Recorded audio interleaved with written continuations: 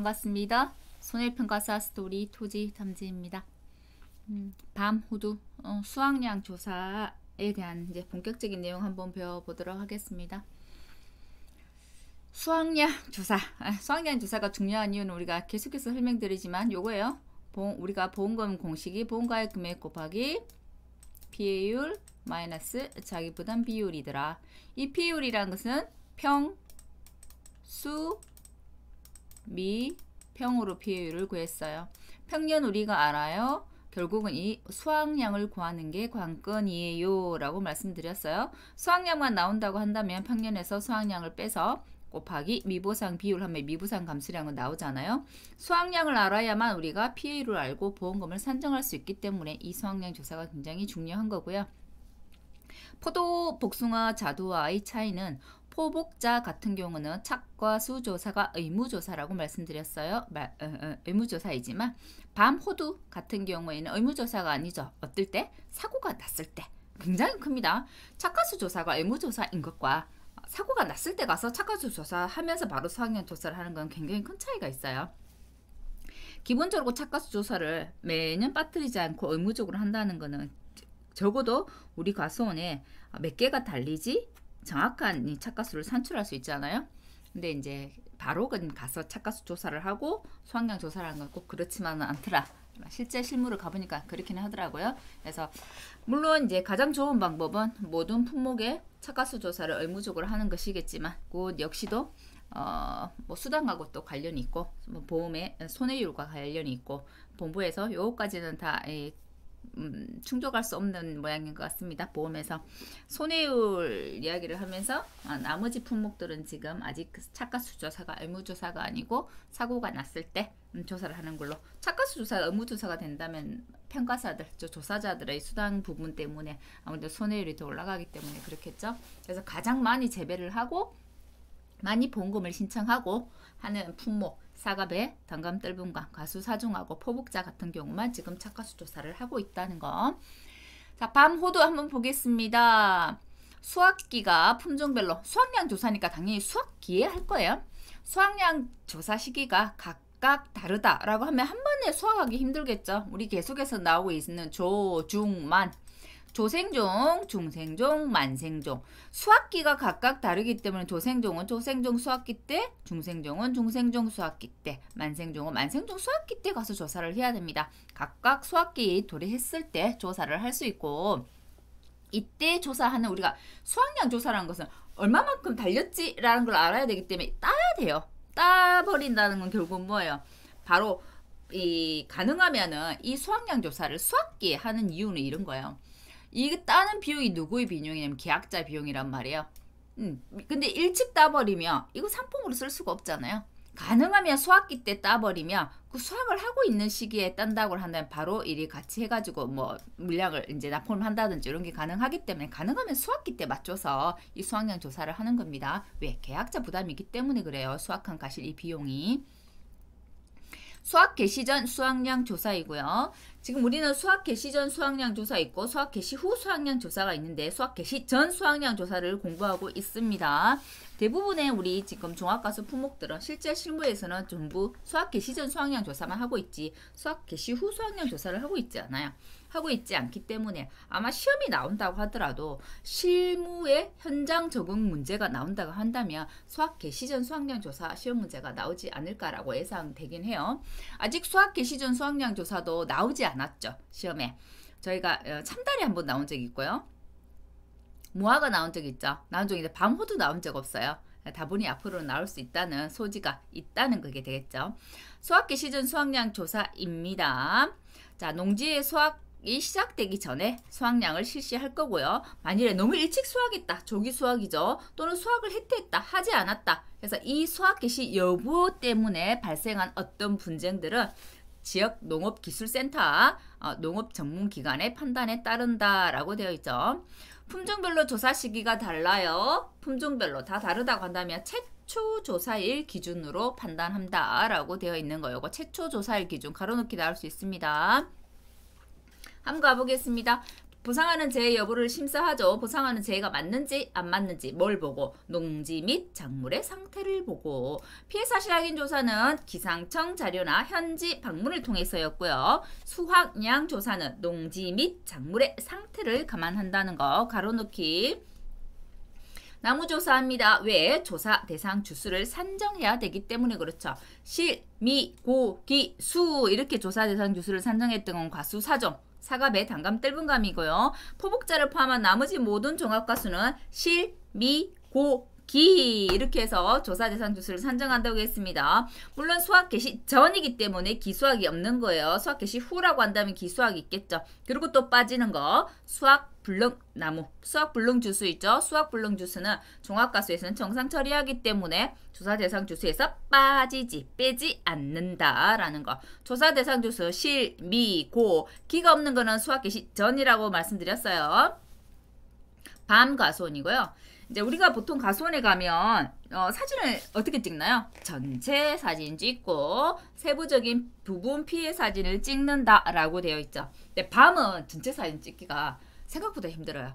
왜냐면 산에 대부분 야산에 저, 임, 저 야산에 그러니까 산에 우리 보통 문중상 이런 데다가 애들, 옛날부터 이제 이제 조상 대대로 물려오는 밭들이 밤밭이거든요. 밤 밤이나 자두가 좀 많이 그렇더라고요. 그래서 아, 굉장히 높은 산이 있어요.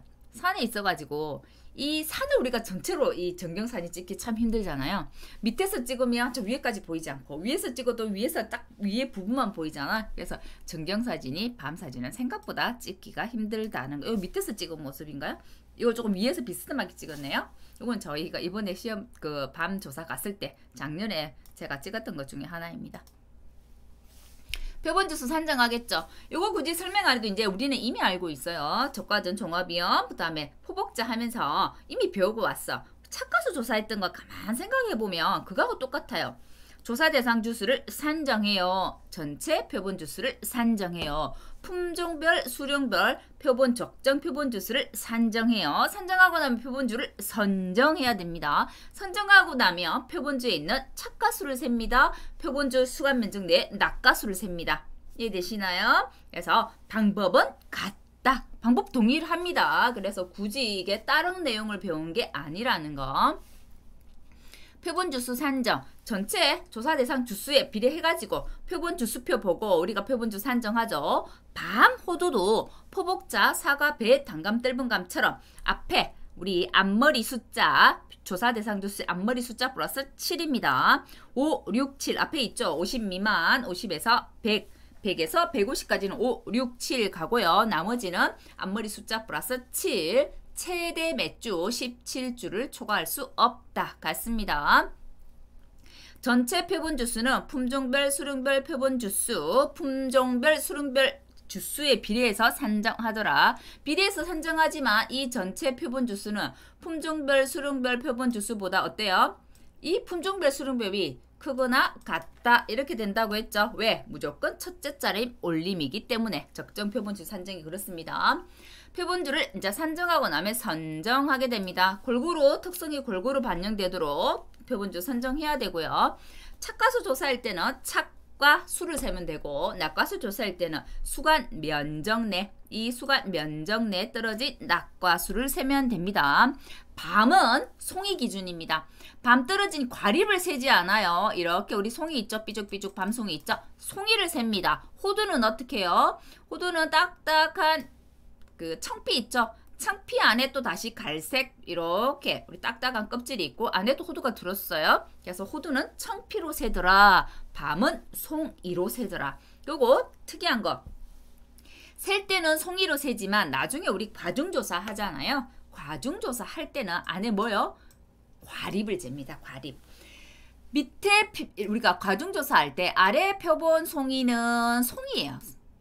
개념은 송이 개념이지만 위에는 가립입니다. 요거 송이에서 빼가지고 안에 가립의 무게를 재는 거예요. 요거 제대로 알고 계셔야 된다는 거. 실무가수도 똑같습니다. 그래서 실무가수 우리 송이 죽고 나면 전부 다 까야 돼요. 까가지고 과립의 무게를 잰다는 거. 그 과립 중에서 3cm, 30mm니까요. 3cm 이하다라고 하면 소 괄호 구분해서 이걸 몇, 몇 프로요? 밤 80% 이렇게 암기했죠. 7, 참달에 7, 70%, 참 7이니까 참달에 70% 이렇게 암기했어요. 그래서 밤은 3cm 미만 이, 이하일 경우에 미만이고 이하일 경우에 소가로 분류해서 80%만큼 무게 인정. 참달에는 50g 이하 소가 70%만큼 무게 인정. 우리 앞에서 배우고 왔어요. 다음에 착가수 확인하고 낙가수 확인하더라.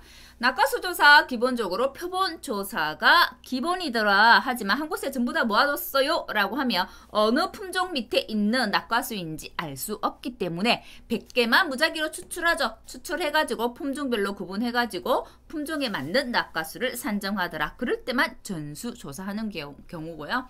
보통은 기본은 표본, 뭐죠? 사갑의 단감 뜰분감 가수 사중하고 차이점은 낙가수 조사가 가수 사중은 전수 조사가 기본입니다. 무조건 사갑의 단감 뜰분감 무조건 전부 다 조사합니다. 가갖고 개수기 들고 쭉 떨어지는 거다 세요. 다 세는 게 기본이고요. 종합가수는 표본이 기본입니다. 표본 조사.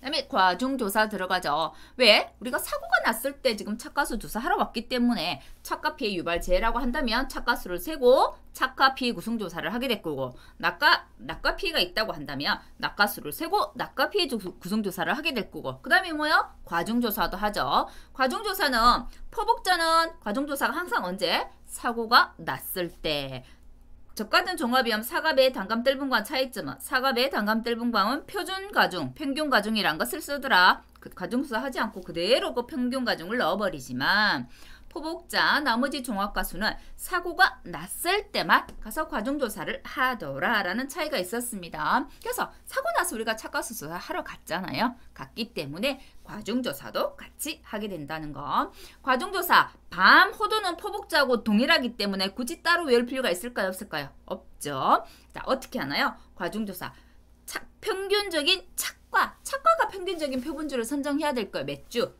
세주 이상입니다. 세주 이상의 크기가 평균적인 과실을 골라갖고 품종별로 몇 개, 20개, 농지별로 60개. 뭐 앞에는 max 값이죠. 큰 값 가지고 옵니다. 품종이 두 품종이다 라 하면 20 곱하기 2니까 40. 하지만 60이니까 최대 뭐 60개는 따야 된다는 게 되겠죠. 그러면 두 품종이면 60개이기 때문에 몇개 몇 개 딸까요? 그렇죠. 보통 30개, 30개 이렇게 따게 되는 거예요.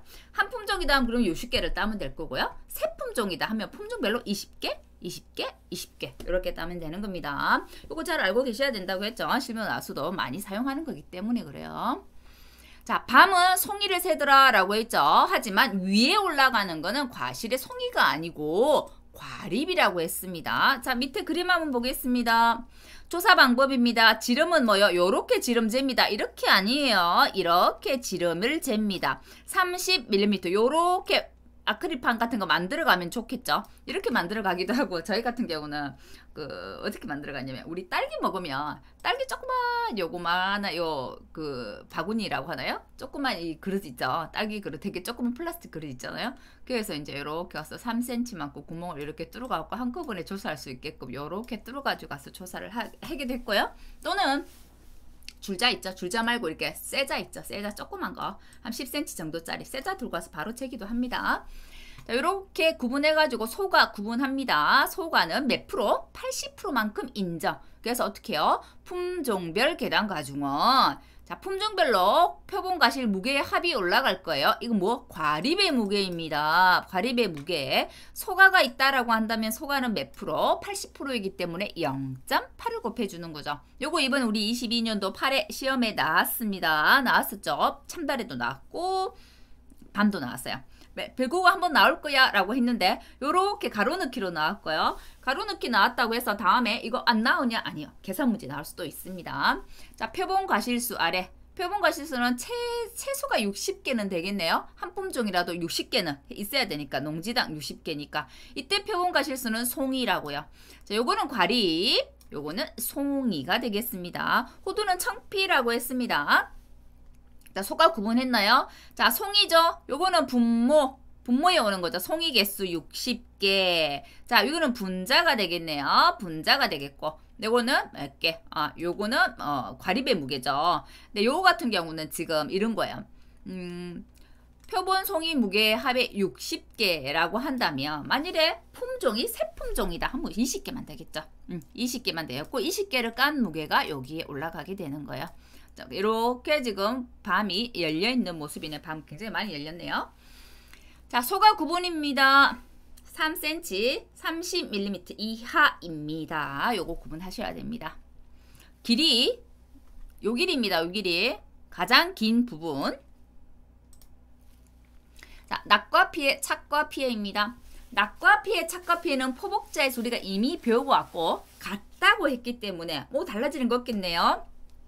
착과 피해는 표본주별로 3주 이상이 될 거고 품종별로 20개, 농지당 60개가 될 거예요. 낙과 피해는 표본주로 가지고 구분하지 않는다고 했죠.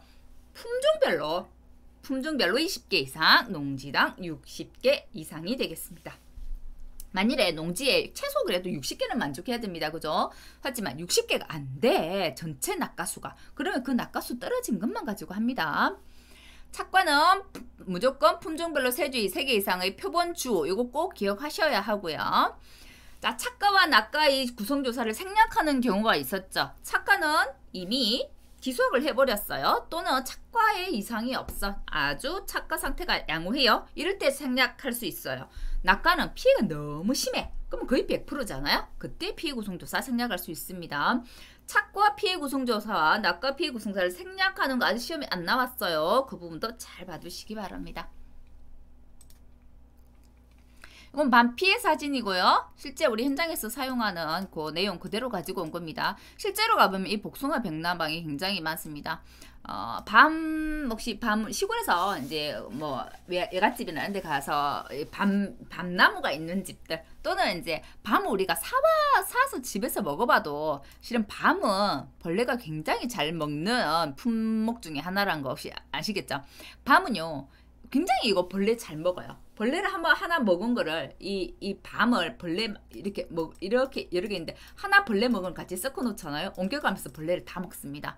그래서 밤은 생각보다 이 벌레 피해가 심한데요. 그 벌레의 명칭이 복숭아 명나방입니다.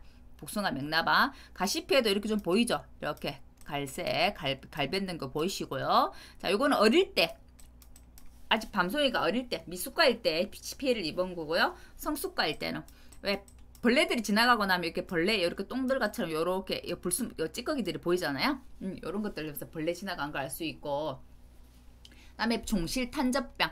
탄저병은 우리 많이 있죠. 우리 뭐 뭐죠? 고추에도 탄저병이 있잖아요. 그것처럼 이렇게 과실에도 탄저병이 대부분 다 있습니다. 과실에도 자 여기 종실 탄저병이랑 요 안에 안에 종실이랑 요 안에 요 가립을 말하는 거죠. 그래서 밤송이에도 이렇게 갈변된 게 보이고요. 이렇게 안에 열었을 때 안에 이렇게 탁 과립을 잘라봤을 때 이렇게 과실 내부 피해 아예 먹지 못하겠죠. 이런 것이 종실 탄저병입니다.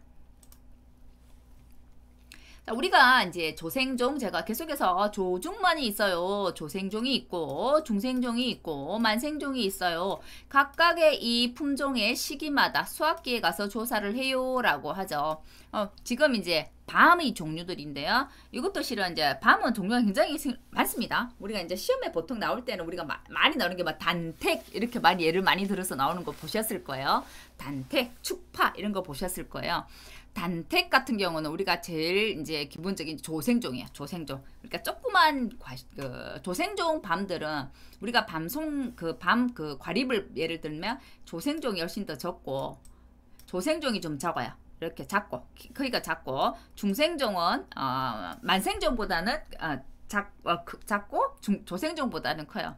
만생종은 물론 이제 중생종만 한 것도 있지만 우리가 흔히 말하는 뭐 대단파라든지 흑단파라든지 제일 뒤에 수확하는 만생종들은 굉장히 크기가 큽니다. 그래서 조생종, 중생종, 만생종 이렇게 수확 시기별로 구분해갖고 조생종, 중생종, 만생종으로 구분을 하고요. 보통 우리 그 수학년 조사할 때 그래도 우리가 조중만 있다고 하더라도 그 시기에 맞춰서 이제 조, 우리가 포복자 같은 경우는 조중만 딱 구분해가지고 조, 수학년 조사를 많이 가요. 많이 가는데 대부분 다른 품목들은 거의 한 번에 수학년 조사가 끝나버린단 말이에요. 막 품종들이 있어도 근데 반 같은 경우는 정말 확실하게 구분이 돼요. 그러니까 조생종, 중생종, 만생종 각각 수확량 조사를 따로 하게 되고 또는 조중생을 묶어서 하고 만생종을 따로 한다든지 이렇게 수확기 차이가 굉장히 많이 납니다. 많이 나서 조생종 조사를 하러 갔을 때는 만생종은 거의 많이 자라지를 않았어요. 아니 연결지를 않아가지고 수확량 조사를 하기가 힘들어요. 그래서 수확량 조사 1차, 뭐 2차, 3차 이렇게 구분해서 가고요. 수확량 조사 할 때 각각의 과중조사, 과중도 우리 왜 품종별로 수확기 때 이렇게 하잖아요. 하기 때문에 수확량 조사 갈 때 과중조사도 같이 하게 됩니다. 예, 광은 뭐 단택, 요게 실 우리 조생종 중에 대표적인 게 단택이고요. 그다음에 뭐 삼, 요 빠져 있는데 뭐 삼조생 이런 품종이 조생종 품종이 되고 여기에 있는 품종들 있죠. 요 정도에 있는 품종들이 이제 중생종이 되겠죠. 광은 그다음에 대한 요 있는 것들 있죠. 그다음에 옥광, 그다음에 유만 이런 것들이 이제 중 중생종이면서 중만생종이라고 이야기를 합니다. 중생종이면서 저쪽 만생종에 좀 가까운 것들.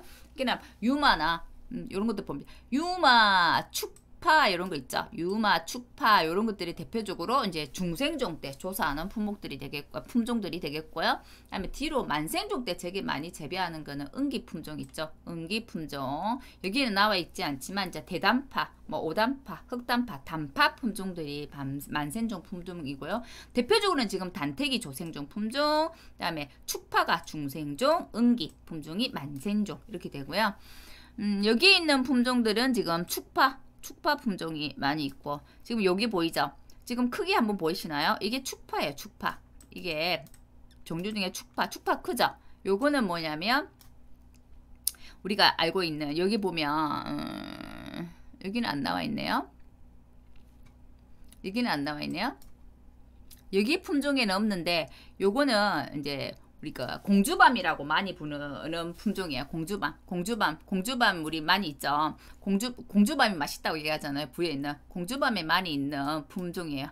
축밥. 그다음에 축밥 말고 이거는 아, 갑자기 이름이 기억이 안 나네요.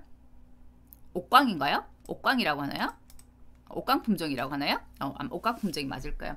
이 품종이 생긴 거 밑에 보이시죠? 아주 특이하죠? 요게 지금 축파가 거의 좀 이렇게 비슷하게 생겼고요. 납닥납닥하게 생겼고 이 옥강이 맞는지 모르겠어요. 옥강 품종이 이렇게 꽁지가 이렇게 조그맣고 되게 동글동글하고 반들반들하게 생겼어요. 껍질도 되게 반 모양 같은 경우는 다른데 축파 같은 경우는 밤송이 껍질이 얇습니다. 얇았는데 이 옥강 품종 같은 경우에는 엄청나게 껍질이 두껍습니다. 딱 만져보면 둔탁한 느낌이 바로 나요. 그러니까 그렇게 해서 밤을 이제 가서 이제 우리가 조사를 할 때 품종을 생긴 모양새나 그다음에 색깔이나 밤송이 이런 형태들을 보고 우리가 이제 가서 품종을 구분하게 되고요. 이건 또 완전 다르게 생겼죠. 그죠? 어, 여기 완전 반들반들 조금 흑갈색에 가깝다고 한다면 어, 좀더 갈색이네요. 갈색에 가, 가, 가, 가깝다고 한다면 이건 완전 좀 흑갈색에 가깝죠. 그리고 털이 여기 보송보송보송한 거 보이시나요? 요거는 어떤 품종이냐 이평이라는 품종입니다. 완전 재래종 품종인데요. 여기 이평 있죠. 재래 품종이라서 지금은 많이 사라지고 있는 품종이고 우리가 실제로 먹었을 때 그러니까 우리가 밤을 삶았을 때 삶아서 먹었을 때 굉장히 맛있는 품종 중에 하나가 이평이라고 해요. 이번 실무 갔을 때 다 찍어왔던 사진들이고요. 조사를 했던 품목들이기도 합니다. 그래서 이제 조사 나갔을 때 보고 음, 구분하실 수 있어야 돼요. 음, 이걸 보고 나무에 달려있는 밤송이라든지 밤송이 크기라든지 모양새를 보고 이게 중생종인지 이게 조생종인지 이게 만생종인지 구분할 수 있어야 되는 그 이게 이제 우리가 보통 우리 손평 우리 공부할 때도 그렇지만 우리 농사를 글로 배웠어요 이렇게 얘기하잖아요. 아, 실제로 이제 조사 나가면 이제 농사를 글로 배웠어요 여실히 이제 드러나는데요. 처음에 조사 가면 이제 계약자한테 다 물어봐야죠. 알고 하고요. 무슨 품종이에요? 무슨 품종이에요? 무슨 품종이에요? 이렇게 다 물어보고 한 며칠 조사를 하다 보면 그냥 생김이나 그런 밤송이나 뭐 색깔이나 이런 것들을 보고 품종 구분이 그냥 가능하게 되더라고요. 그래서 아 이렇게 품종들이 다양하구나. 반만 그런 게 아니에요. 실제로 우리 조사 나가면 사과도 사과 우리 착가수 조사 기본적으로 다 가잖아요. 우리 복숭아 착가수 조사 기본 다 가잖아요. 복숭아, 자두, 사과 이런 거 품종 구분 다 하실 수 있어야 돼요. 왜냐하면 우리가 품종별, 수령별, 재배 방식별로 해가지고 착가수 조사를 하잖아요. 품, 이 품종의 착가수가 이 표본지에 몇 개가 달려있지 이거 조사한단 말이에요. 그래서 품종별로 구분이 가능해야 됩니다. 사과 같은 경우도 우리가 가면 우리 뭐 홍로라든지 홍옥이라든지 뭐 시나도라든지 부사, 후지라든지 종류가 굉장히 많죠. 그렇죠. 복숭아도 마찬가지예요. 복숭아는 진짜 조생종, 중생종, 만생종 품종이 다양하게 많아요. 네, 다양하게 많아서 복숭아도 그렇고요. 자두도 가면 그렇습니다. 뭐 자두도 가면 종류가 우리가 제일 기본적으로 조생종이 대석 조생이라고 얘기를 하는데 뭐 대석 조생이라든지 도담이라든지 가을쯤 수확하는 추위라든지 이렇게 품종 구분이 가능해야만 그 어릴 때도 품종 구분이 조금씩은 된단 말이에요. 그래서 그 품종을 보고 아 이게 무슨 무슨 나무 품종의 나무구나를 구분할 수 있어야만 착가수 조사가 원활합니다. 그러니까 우리 기본적으로 이론은 알고 가야 되고 실무 가셔가지고 나무 구분, 품종 구분하는 것도 아, 하시다 보면 자연스럽게 터득이 되는 것일 수도 있지만 물론 조사 나가기 전에 미리 이제 요 유튜브라든지 이런 자료들 보고 공부를 좀 하고 나가시는 게 조, 좋으실 거예요. 자, 밤호두 유자입니다. 유자하고 차이는 하나죠. 밤하고 호두는 떨어진 것도 수확해서 상품으로 사용할 수 있어요. 라고 했습니다. 그렇기 때문에 뭐요? 착 과 수확량만 조사하는 게 아니고 낙과 수확량도 조사한다고 했고요. 유자는 낙과 수확량 자체가 없다고 했어요. 왜? 보장 종기가 수확 개시 시점이기 때문에 수확 개시 하만과 동시에 땅 보장 종기가 끝난단 말이에요. 떨어질 게 없죠. 그렇기 때문에 유자는 착과 수확량만 조사한다는 거 유의해 주시면 되고 그렇게 보면 이제 유자가 나중엔 제일 쉬운 우리 품목 중에 되겠죠. 보험금을 계산하는 왜 수확 개시주 조사밖에 없으니까요. 지금은 우리가 수학 개시 전만 배우고 있어서 다른 것도 쉽게 느껴지지만 나머지 이제 다른 가수들은 또 수학 개시 후 조사도 있단 말이에요. 수학 개시 후는 또 따로 수학 개시 후만 모아가지고 배울 거예요. 왜 헷갈리니까요. 수학감수 보험금 기본 공식입니다. 보험가액 금액 곱하기 비율 마이너스 자기부담 비율에서 가, 피. 자, 공식 가지고 갑니다. 피율, 평, 수, 미, 평이고요. 자, 수학계 시즌 수학량은 착과 수학량이 있고 낙과 수확량이 있고 미보상 주수에 대한 수확량이 있더라. 착과 수확량, 착과수 조사를 간 이유가 사고가 나서 갔기 때문에 사고가 나서 갔기 때문에 과중조사도 바로 하고 착과 피해 조사, 낙과 피해 조사도 바로 하기 때문에 바로 착과 양에서 사고당 감수량 이렇게 포복자처럼 그렇게 구하는 게 아니라 바로 착과 수확량을 산출할 수 있더라. 몇 개 달렸지 피해를 몇 개 입었지 그러면 뭐예요? 이거 빼면 이 전체에서 이거 빼면 착과 수확량이 되겠잖아요. 아 그래서 요렇게 산출하더라. 그래서 요거만큼이 착과 량이 되고 착과량에 이게 감수량이 되겠죠. 착과량의 100%를 봤을 때 착과 피해가 몇 프로 입었니? 그럼 감수량이 될 거예요. 착과량의 감수량을 뺀 거기 때문에 요거 몇 개가 달렸지? 얼마만큼 피해를 입었지? 그럼 아 요거만큼 수확이 되겠네. 착과 수확량이 되나요? 낙과도 마찬가지입니다. 자, 낙과 량에다가 낙 1 마이너스 낙피 구성률 되겠습니다. 미보상 주수는 이미 조사를 할 수가 없어요. 조사 대상 주수에서 제외되어 있어서 조사를 하지 않았어요. 그래서 적어도 우리 과수원의 평년이 얼마인데 우리 과수원의 실제 결과 주수가 몇 주야. 한 나무에 몇개 쪽으로 몇 개는 기본적으로 달리겠네. 요걸 찾아내서 주당 평년 수확량을 곱한다고 했습니다. 그럼 착과량은 어떻게 구했니? 라는 거죠.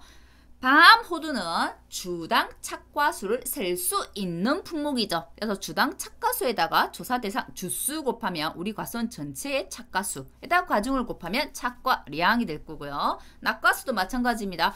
낙과 수를 셀 수 있는 품목이기 때문에 주당 낙과수를 구해서 조사 대상 주수하면 이게 전체 낙과수가 나올 겁니다. 여기에다 과중을 곱하면 전체 낙과량이 나오는 거죠. 맞나요? 착가수, 낙가수, 주당 착가수, 주당 낙가수는 우리가 이미 알고 있어요. 표본주 어, 조사 대상 주수를 산정했어요. 전체 표본 주수를 산정했어요. 표본주를 선정했어요. 착가수를 셌어요. 낙가수를 셌어요. 표본주가 몇 주예요? 7주예요. 표본주에 달림 착가수가 700개요. 그러면 한 나무에 몇 개? 100개가 달렸네요. 이렇게 할 수 있다고 했죠. 주당 낙가수입니다. 표본주가 7주예요. 맞나요? 자, 70개가 떨어졌어요. 한 나무에 몇 개씩 떨어졌나요? 10개가 떨어졌네요. 이렇게 산출한다고 했습니다. 기본적으로 표본 조사라는 거. 자, 주당 평년 수확량입니다. 주당 평년 수확량은 품종이 한 품종일 때와 여러 개 다품종일 때가 다르다고 했죠. 한 품종이다. 단품종이죠. 단품종이라고 한다면 평년 수확량에다가 실제 결과 주수로 나눠주면 주당 평년 수확량이 나왔어요. 근데 다 품종이다. 여러 품종이다 할 때는 어땠나요? 전체 평년 수확량만 주죠. 주당으로 각각의 평년 수확량을 주지 않기 때문에 어떻게 했나요? 표, 뭐야 표준 수확량을 준다고 했죠. 표준 지역의 표준 수확량을 가져오기 때문에 표준 수확량에 내가 구하고자 하는 A, B의 표준 수확량 합분에 내가 구하고자 하는 표준 수확량 요게 내가 만일 A 품종이라면 A 품종의 평년 수확량이 될 거예요. 맞나요? 주당이기 때문에 뭘로 나눠요? 다시 A 품종의 실제 결과 주수로 나누면 주당 평년 수확량이 나오더라. 요게 되겠네요. 미부상 감수량은 평년에서 수확량 뺀 거 이게 감수량이기 때문에 이 감수량에다가 미부상 비율을 곱해 주더라라고 했습니다. 미부상 비율이 1차 때 10%, 2차 때 20% 나왔다면 미부상 비율은 항상 어떤 값? 최대 max 값. 제일 큰 값을 가지고 옵니다. 근데 항목이 달라요. 제초로 분량으로 10%예요. 다음에 병충해로 10%예요. 그러면 합산합니다. 항목이 다르면 합산. 항목이 같은데 1차, 2차, 3차라고 하면 최대값을 가지고 옵니다. 과정조사는 어땠나요? 과정조사는 보통 한 번만 합니다. 한 번만 하는데 뭐 한 번, 두 번 하는 경우들도 있긴 있어요. 뭐 실제 가서 앞에 한 거 모르고 두 번째 또 조사할 수 있다는 얘기예요. 하면 언제 어떤 값을 적용하면 과정조사는 무조건 최초 값을 적용합니다. 하지만 이 미보상 비율과 과정조사 모두 우리가 만일에 처음에 최초조사 외에 제조사가 들어갔어요. 또는 금정조사가 들어갔어요. 라고 한다면 제조사, 금정조사가 무조건 그 값이 우선시 되기 때문에 제조사나 금종조사 값으로 대체됩니다. 비율 산정 방법 별표 산식에 있는 거요. 이렇게 가지고 왔죠. 이거는 실제로 중요하긴 하지만 우리 22년도 시험 한번 생각해 보세요. 우리가 별표 산식이 처음엔 들어오지 않았다가 나중에 기본수가 다시 수정이 되면서 발표 산식이 다시 들어왔단 말이에요. 하지만 이번 시험은 어땠나요? 22년도 시험은 이 별표 산식에서 까다롭게 시험 문제를 내기보다는 우리 기본수 본문에 있는 내용이 아주 충실해 가지고 시, 충실하게 시험 문제를 냈어요. 별표 산식에 있는 것처럼 수학 개시 후까지 해서 막 세세하게 복잡하게 문제를 내지 않았어요. 하지만 우리 기본수에 들어있기 때문에 무시할 수는 없다. 그리고 가장 기본적인 공식들은 여기 다 있어요. 본문에 설명으로 되지 않는 모든 공식들은 이 별표 산식이 있기 때문에 이 별표 산식 무시하시면 안 돼요. 그래도 하지만 더 충실해야 되는 것은 뭐다? 기본서다라는 거. 밤호두입니다. 수학 개시전 조사 최초 최초 수학 전입니다. 조사 대상 주수를 산정합니다. 실, 미, 고, 기 됐나요? 자, 평, 주, 품종별 표준 수확량은 품종별 그러니까 다품종이라는 얘기죠. 단품종일 때는 평년에서 실제 결과 주수로 나눠주면 되지만 다품종이다 라고 하면 전체 평년 수확량의 표준 수확량의 합을 가지고 나눠준다고 했습니다. 이거는 품종별 평균 수확량이기 때문에 그렇고 주당으로 나눠진다고 한다면 다시 나누기 이게 품종이 A라고 한다면 A고 구한다고 하면 A 품종의 실제 결과 주수로 나눠주면 되기 때문에 결국은 이 공식하고 같다라는 게 됩니다. 착가수입니다. 주당 착가수, 주당 낙가수. 표본주 착가수 합에다가 표본주, 품종별 표본 주수의 합을 나눠주면 되겠네요. 주당 착가수, 낙가수도 동일합니다. 전수조사했어요. 낙가를 전부 다 한꺼번에 모아놨어요. 그러면은 품종 구분이 힘들어요. 100개만 추출합니다. 해가지고 전체 낙가수에 내가 구하고자 하는 A 품종의 표본과 실수 찾아내고 전체 표본까지 100개면 100개가 되겠죠. 여기에서 어, 이렇게 해서 전체 낙가수 해가지고 내, 내 품종의 낙가수가 몇 개인지를 찾아냅니다. 내 품종의 낙가수를 찾아내면 내 품종의 조사 대상 주수 곱하면 이 품종의 전체 낙가수를 알 수 있겠네요. 맞습니다. 조사 대상 주수 동일합니다. 과중입니다. 표본 가실 무게. 무게 나누기 개수예요. 과중은. 무게 나누기 개수. 자, 이 무게는 과립의 무게더라. 밤은. 그 다음에 개수는 송이의 무게더라. 호두는 청피이더라. 라고 구분하십니다. 밤 30mm 이하 소가일 경우에는 몇 프로? 80% 0.8 곱해 준다는 거. 밤일 경우에만 그렇습니다. 밤. 다음에 피해 구성 조사 50%, 80%, 100% 구분했죠. 정상일 경우 피해 없는 거 50%는 일반 시장 출하 가능해요. 가격 하락이 50% 정도 예상되는 거 80%는 시장 출하가 불가능해요. 하지만 가공 공장은 납품이 가능해요. 100%는 시장 출하도 안 돼요. 가공 공장도 못 가요. 이런 거였죠. 이거 구분하게끔 해가지고 22년도 모아가 문제 산출되어서 나왔습니다. 이거를 꼭꼭 서술행으로 낸 게 아니라 뭐요? 계산 문제에 녹여서 나왔죠. 그래서 그런 부분들 항상 신경 써야 된다는 거. 수확량 조사입니다. 착과 수확량 플러스 낙과 수확량 플러스 미보상 주수 수확량 이렇게 되는 거죠. 조사 대상 주수의 주당 착과 수 여기까지가 요 품종별 가중 앞으로 가져온 게 좀 더 쉽겠죠. 여기까지 해서 착과 량이 될 거고요. 1 마이너스 착피 구성률에서 감수량을 빼주는 게 되겠네요. 자, 품종별 조사 대상 주수의 주당 낙가수 물론 품종별 가중이 앞으로 온다라 하면 낙과 량이 될 거예요. 1 마이너스 낙피 구성률에서 수확량 산출해 주고요. 미부상 주수는 주당 평균 수확량 가지고 산출하더라. 미부상 감수량은 감수량의 미부상 비율을 곱한 거기 때문에 수확량 이미 산출했어요. 그럼 평균에서 수확량을 빼고 미부상 비율 곱해주면 되더라. 가장 기본적인 사항입니다. 조사 대상 주수 실, 미, 고, 기 됐나요?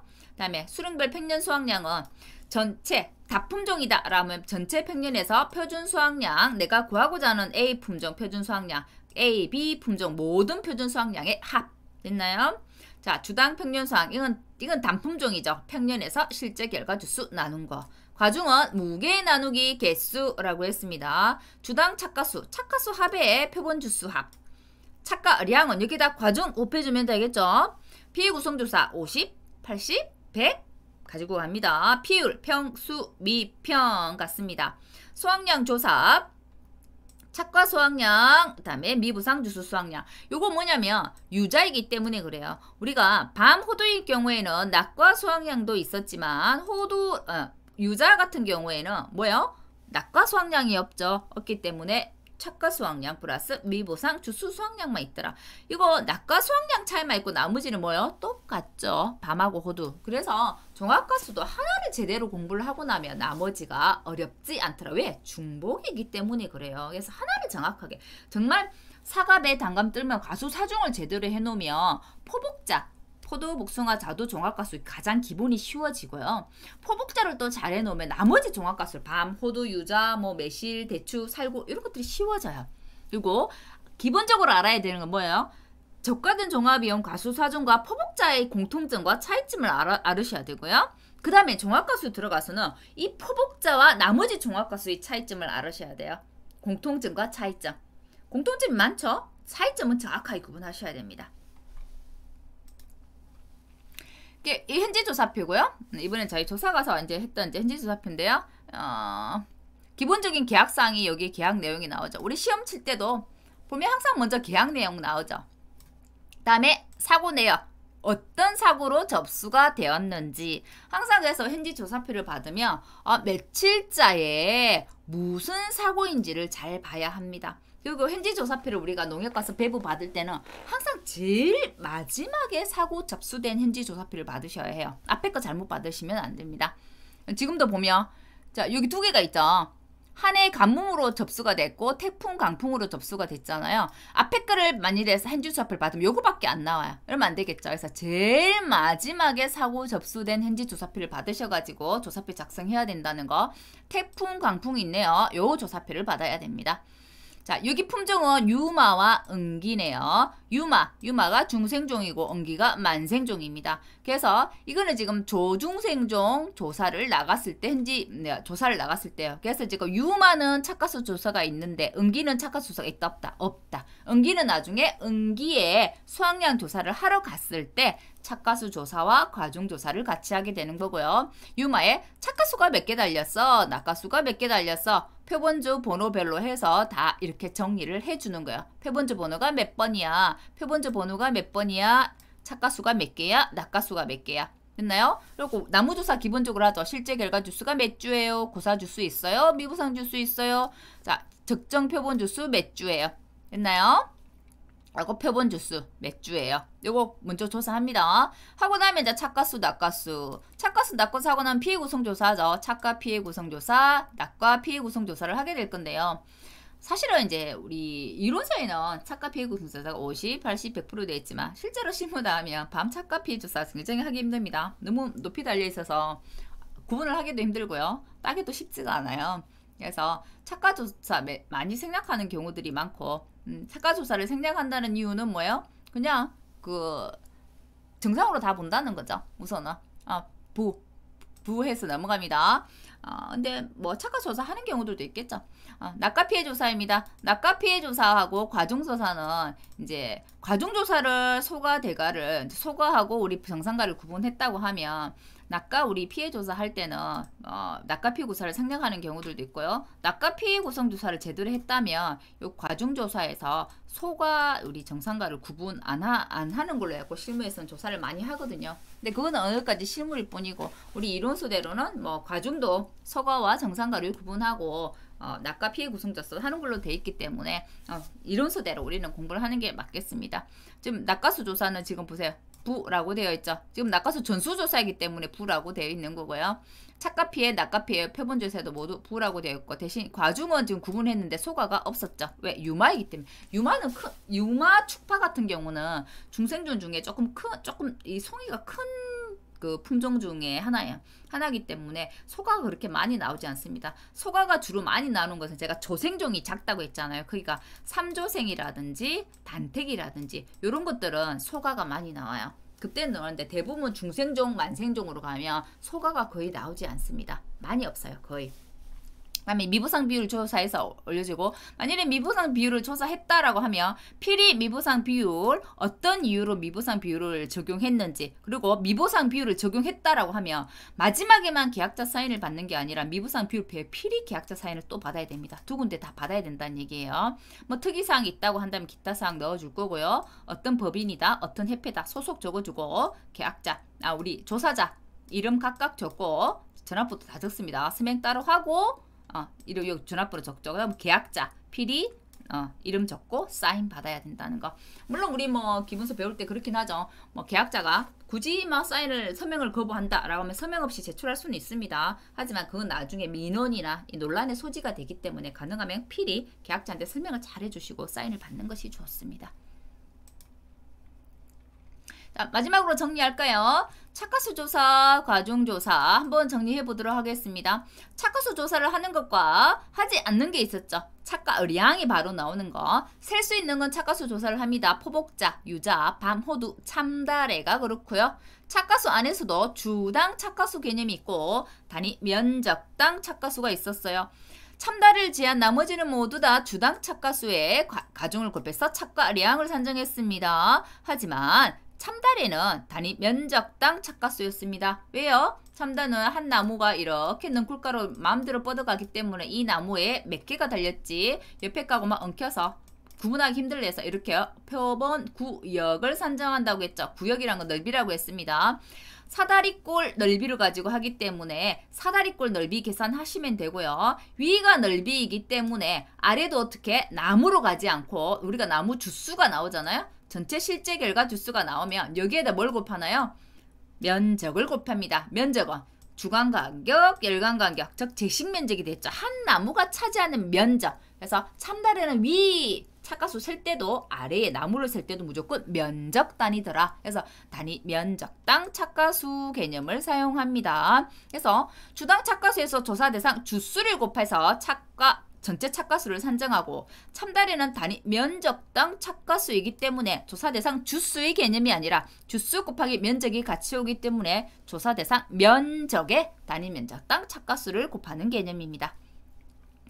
착가수, 포복자는 기본조사입니다. 의무조사, 사고 여부 상관없이 무조건 나갑니다. 나머지는 사고가 접수되었을 때 간다. 라게 되었고요. 과정조사입니다. 과정조사, 과정조사는 모두 같죠. 표본주별로 어, 세주 이상 품종별로 품종별로 20개, 농지당 포도만 30개, 넘문지 모두 60개 이상입니다. 밤 같은 경우 30mm 이하, 3cm 이하라는 얘기입니다. 소가일 때 밤 80%, 참다래는 무게로 갑니다. 50g 이하일 경우 참다래 7, 참다래 7에서 참다래 70% 이렇게 요것만 정리합니다. 다음 착과 피해 유발 제의가 있을 때 착과 피해 구성 조사를 합니다. 착과 피해는 모두 표본 주 세 주 이상이 따라갑니다. 표본 주 세 주 이상 기억하세요. 품종별로 표본 주 세 주 이상, 품종별 세 주 이상 모두 있죠. 따라갑니다.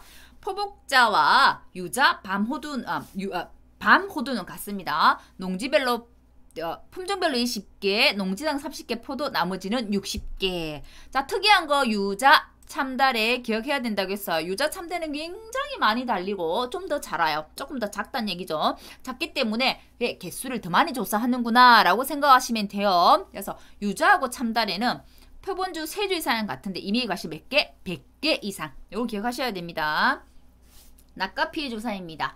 낙가는 표본 주별로 이런 게 없어요. 낙가는 무조건 어떻게 하냐면 품종별로 갑니다. 품종. 품종별로 20개, 농지당 30개, 포도만 나머지 60개. 유자는 낙가 피해 안 하기 때문에 없겠죠. 밤호도 포복자 동일합니다. 자, 참달에는 착과 피해 조사할 때도 이밀과실 100개이기 때문에 낙가도 품종별로 이밀과실 100개입니다. 매실 살구 대추는 착각 수를 세는 게 아니라 너무 조그만 해서 바로 무게를 잰다고 했죠. 나무에 달려있는 거 몇 개 무게 바로 잴 수 있기 때문에 이걸 주당 착과량이라고 하고요. 착과량을 재는 거 매실 살구 대추 오미자는 이거 역시도 따서 우리가 무게를 재야 되기 때문에 수학에서 무게를 재야 되기 때문에 그게 계약자 비용이잖아요. 그래서 무조건 절반 조사 가능하더라라고 했습니다. 그 중에 날마다마다 날마다마다 크게 크가는 게 쑥쑥 자라서 비대 추정 지수를 곱하는 게 있다라고 했습니다. 어떤 거? 매실이었죠. 우리 밭작물 배웠을 때 마늘, 양파처럼 매실도 비대 추정 지수가 있고요. 마늘 양파는 하루에 얼마만큼 자라요? 몇 퍼센트만큼 자라요? 해서 잔여 일수를 곱해줬지만 매실은 남은 일수가 몇, 며칠이에요? 따라서 그냥 비대 추정 지수가 딱 정해져 있어요. 10일 전에 땄다란 비대추등 주스가 딱 정해진 거 그냥 곱해버리면 돼요. 조금 마늘하고 양파하고 조금 다른 건 있습니다. 주당 착과 리앙을 구하는 거. 그다음에 주당 착과 하지만 오미자는 미트당 착과 리앙이라고 했죠. 오미자 역시도 덩굴과이기 때문에 이렇게 유인틀이 있으면 이렇게 마음대로 자라서 한 나무에 나무를 구분할 수 없더라. 그래서 오, 미자는 표본 구간을 선정합니다. 구간이란 건 길이를 선정한다는 얘기예요. 이 표본 구간은 이 유인틀, 유인틀의 길이 방향으로 1m입니다. 1m. 길이죠 미터. 그래서 미터당 착과량이더라. 미터당 착과량이기 때문에 우리가 미터당 우리가 주당 착과량에는 조사 대상 주수를 곱하지만 미터당 착과량은 미터잖아요. 길이잖아요. 그래서 조사 대상 길이를 곱하더라. 그런 차이가 있습니다. 전부 수학, 절반 수학 가능하더라. 전부 수학 또는 절, 절반 조사 가능하더라. 매실살구 대추 기억합니다. 표본주별로 이메일 과실 100 개. 100개는 똑같죠? 유자, 참다리와 같은데 이게 무게도 할 수 있어요. 100개도 할 수 있고 1000g도 할 수 있더라. 표본주가 5주다 라고 하면 500개, 5000g이 가능하겠죠. 자, 품종별로입니다. 낙과는 품종이 표본주는 다섯 주가 최소잖아요. 하지만 품종이 세 품종밖에 안 돼. 그럼 낙과는 몇 개예요? 300개 3,000g입니다. 낙과는 표본주하고 아니에요. 품종별로 가더라. 오미자는 3,000g이더라. 품종별로. 그다음에 이미과실 3,000g 똑같더라.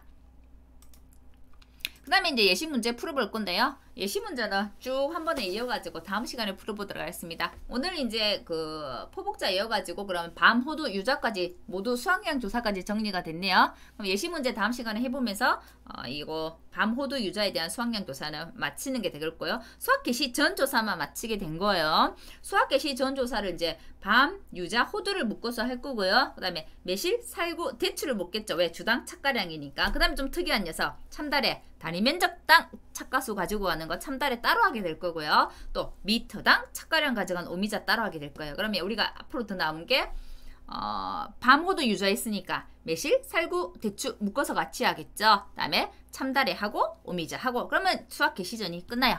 끝나고 나면 수학 개시 후 넘어가가지고 수학 개시 후 조사를 따로 배우게 될 거고 수학 개시 전과 후를 바로 묶어서 하지 않는 이유는 막 헷갈리고 어려워요.